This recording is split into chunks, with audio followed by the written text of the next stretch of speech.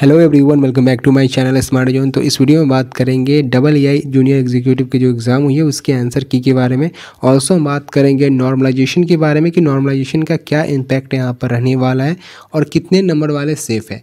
तो सबसे पहले हम बात करते हैं जूनियर एग्जीक्यूटिव की आंसर की के बारे में। बहुत सारे कैंडिडेट का ये भी सवाल है कि क्या आंसर की आएगा, क्योंकि आप देखो जब भी आईबीपीएस एग्ज़ाम लेता है बैंकिंग का तो उसमें कोई भी आंसर की नहीं आता है। लेकिन एक बात मैं आपको बता दूँ, अभी हाल ही में बहुत सारे ऐसे एग्ज़ाम है जो आई कंडक्ट कराया, लेकिन आंसर की आया। है जैसे कि आपका LRC का एग्ज़ाम हो गया, बिहार में जो LRC का एग्ज़ाम हुआ था, वो आई नहीं कंडक्ट कराया गया था। वहाँ पर अगर हम देखें तो आंसर की रिलीज़ करा गया था, ठीक है? तो इस बार भी आंसर की आएगा और डबल ए में हमेशा से ही आंसर की आते रहा है। जैसे कि आप प्रीवियस में देख लो तो आंसर की आया था और आंसर की लगभग आपके पाँच दिनों के अंदर आ गया था, ठीक है? तो इस बार भी आंसर की रिलीज़ करा जाएगा और पाँच दिन से पहले ही आ जाएगा। जैसा कि आप एसएससी में भी देख सकते हो, आंसर की बहुत जल्द आता है। तो इस बार भी आंसर की आएगा। अगर हम बात करें आंसर की कब तक आएगा तो आंसर की जो है वो सारे एग्ज़ाम ख़त्म होने के बाद ही आएँगे। यानी कि जितने भी नंबर ऑफ़ पोस्ट है, उस सभी के एग्ज़ाम ख़त्म हो जाएँगे। जैसे कि आप देख सकते हो, जूनियर एग्जीक्यूटिव लॉ का जो पोस्ट है, उसका एग्ज़ाम है इक्कीस तारीख को और जूनियर एग्जीक्यूटिव फाइनेंस का जो पोस्ट है, उसका एग्ज़ाम है तेईस तारीख को, ठीक है? तो तेईस के बाद ही आपका आंसर की आएगा। तेईस तारीख आपका लास्ट डेट है। तो आप मान के चलो पाँच दिनों के अंदर इसके बाद आंसर की डेफिनेटली आ जाएगा। लाइक आप एक्सपेक्ट कर सकते हो कि आपका अट्ठाईस अक्टूबर से पहले पहले आंसर की आ जाएगा, ठीक है? पाँच या दो दिन ही आ जाता है, लेकिन पाँच दिन एक हम डेट मान के चलते हैं कि पाँच दिन लगभग टाइम लग सकते हैं, ठीक है? तो अट्ठाईस तक आपका आंसर की आ जाएगा। जिन कैंडिडेट ने भी एग्ज़ाम दिया, वहाँ पर जाकर आप अपना रॉ स्कोर चेक कर पाओगे। ठीक है तो ऐसा नहीं है कि आंसर की नहीं आएगा। बहुत सारे कैंडिडेट बोल रहे थे कि आईबीपीएस एग्ज़ाम कंडक्ट करा रहा है तो आंसर की नहीं देगा। तो ऐसा नहीं है आंसर की ज़रूर आएगा, ठीक है। आगे हम बात करें नॉर्मलाइजेशन के बारे में तो नॉर्मलाइजेशन होगा, बिल्कुल होगा, क्योंकि छः शिफ्टों में एग्ज़ाम हुआ है, लेकिन नॉर्मलाइजेशन का इम्पैक्ट आपको ज़्यादा देखने को नहीं मिलेगा। आप बैंक का भी एग्ज़ाम देख सकते हो, उसमें नॉर्मलाइजेशन का इम्पैक्ट हमें ज़्यादा देखने को नहीं मिलता है। जैसे कि बीस नंबर बढ़ गए, तीस नंबर बढ़ गए, ये सिर्फ़ एसएससी में ही होता है। ऐसा क्यों होता है? क्योंकि यहाँ पर लेवल ऑफ़ एग्ज़ाम जो रहता है, वो मेनटेन रहता है। तो पेपर हार्ड आने से मतलब नहीं है पेपर का लेवल से मतलब है आपका नॉर्मलाइजेशन उसके वजह से होता है, ठीक है?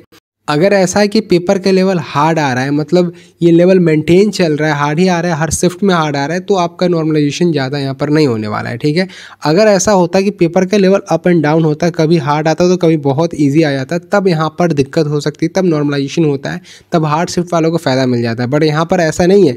यहाँ पर पेपर का जो लेवल है वो मेनटेन रहा है, यानी कि जो एग्ज़ाम का लेवल रहा है, वो हार्ड ही रहा है हार्ड टू मॉडरेट रहा है। हर शिफ्ट में जो क्वेश्चन थे वो लगभग सेम लेवल के थे। तो थोड़ा बहुत आपको नॉर्मलाइज वैल्यूएशन देखने को मिल सकता है। जैसे कि बैंक में होता है, तीन से चार नंबर बढ़ सकते हैं मैक्सिमम दस नंबर बढ़ सकते हैं। अगर आपका सिर्फ़ ज़्यादा हार्ड था एज़ कंपेयर टू बाकी सारे सिर्फ़ तो हो सकता है कि आपका मैक्सिमम दस नंबर बढ़ जाए, उससे ज़्यादा नंबर नहीं बढ़ता है। ठीक है बैंक के एग्ज़ाम हो गया। जितने भी एग्ज़ाम होता है, जहाँ पर लेवल मेंटेन रहता है, वहाँ पर ज़्यादा इंपैक्ट हमें नहीं देखने को मिलता है नॉर्मलाइजेशन का। ठीक है तो पेपर हार्ड होने से मतलब नहीं है। पेपर का लेवल से यहाँ पर मतलब रहता है नॉर्मलाइजेशन का। ठीक है तो ये कुछ फंडा रहता है नॉर्मलाइजेशन का। आगे हम बात बाकी अगर सेफ़ स्कोर की बात करें तो मैंने पहले ही वीडियो में बता दिया है, लगभग जो 105 से ऊपर स्कोर कर रहे हैं 105 से लेकर 110 के बीच अगर आप स्कोर कर रहे हो तो चांसेस हैं कि आप यहाँ पर क्वालिफाई कर सकते हो, क्योंकि मोस्ट ऑफ़ द कैंडिडेट जो थे वो एसएससी के पैटर्न सोच कर गए थे और पैटर्न थोड़ा सा चेंज हुआ लेवल एग्ज़ाम का अच्छा आया, जो कि लगभग हम मान के चल सकते हैं बैंकिंग पैटर्न पे ही सारे क्वेश्चन थे। तो जो एसएससी के एस्पेरेंट हैं, उनको थोड़ा सा दिक्कत होता है, क्योंकि आप पज़ल नहीं पढ़ के जा रहे हो। पज़ल ऐसे सिलेबस में भी नहीं था, फिर भी पज़ल पूछा गया। तो आप पज़ल अगर पढ़ के नहीं गए हो तो मुश्किल है आपके लिए कि आप पज़ल वहाँ पर सॉल्व कर पाओ, ठीक है? वो भी अगर आप देखो तो पज़ल से काफ़ी सारे क्वेश्चन आए। और काफ़ी सारे ऐसे भी कैंडिडेट थे जिन्होंने पज़ल में बहुत ज़्यादा टाइम दे दिया और वो सॉल्व भी नहीं कर पाए, ठीक है? तो ऐसे भी बहुत सारे कैंडिडेट थे तो वहाँ पर मुश्किल आई। बहुत सारे ऐसे ऐसे एस्पेंट थे, उनको मुश्किल आई और थोड़ा सा डीआई भी कैलकुलेटिव आ गया, ठीक है? तो लगभग आप यही रेंज लेकर चल सकते हो कि अगर इतना स्कोर आ रहा है आपका तो चांस है कि आप यहाँ से निकल जाओगे, ठीक है? बाकी जो आंसर किया गया उसमें बहुत हद तक क्लियर भी हो जाएगा और रिज़ल्ट आपको ज़्यादा टाइम यहाँ पर नहीं देगा। यही तो रिज़ल्ट भी बहुत जल्दी रिलीज़ कर देगा, ठीक है? तो ये आज की वीडियो उम्मीद करता हूँ वीडियो आपको अच्छी लगी हो वीडियो, अच्छी लगे तो वीडियो को लाइक शेयर ज़रूर से करना। तो मिलते हैं अपने अगले वीडियो में। तब तक के लिए बाय एंड टेक केयर